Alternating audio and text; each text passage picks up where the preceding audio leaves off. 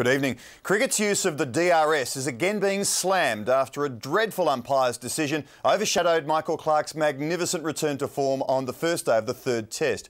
Clarke's 125 not out has put new life into the Ashes campaign with Australia 3 for 303. Steven Smith is also at the crease on 70. This is the howler that has Cricket Australia seeking clarification on the DRS. Khawaja immediately referred it. Hotspot showed nothing. The slow-mo gave us the gap between bat and ball. Another angle produced the bat hitting the pad, hence the noise. But the third umpire, Kumar Dharmasena, the umpire of the year no less, still gave him out. That's a shocker. That's an absolute shocking decision. From what we saw on the replays, I think even the England guys had, had, had given up hope. It overshadowed a great day with the bat set up by a rampant Rogers. Beautiful. He blasted a runner ball half century and put on 76 with Watson. Straight to Cook, gone.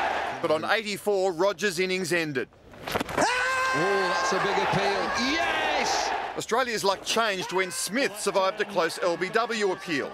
There is an absolute millimetre in that. Michael Clarke went on the front foot against Graeme Swann. This goes over the top, again using his feet. And Smith should have been given out again on 24. But England was out of reviews. It was plumb. What goes around comes around. Broad is still one short of 200 test wickets. From there, Clarke and Smith blossomed. The pair would bat the rest of the day with Clarke back to his brilliant best. now you know he's seeing it well. Smith killing some personal demons and almost the umpire. Well, he's gone straight down the ground. He's hit it pretty hard too. Clarke raced to a ton off just 169 balls. A century for Michael Clarke. The runs flowed late and Australia is in a very strong position. They've put on 174. Smith needs another 30 for a first test ton.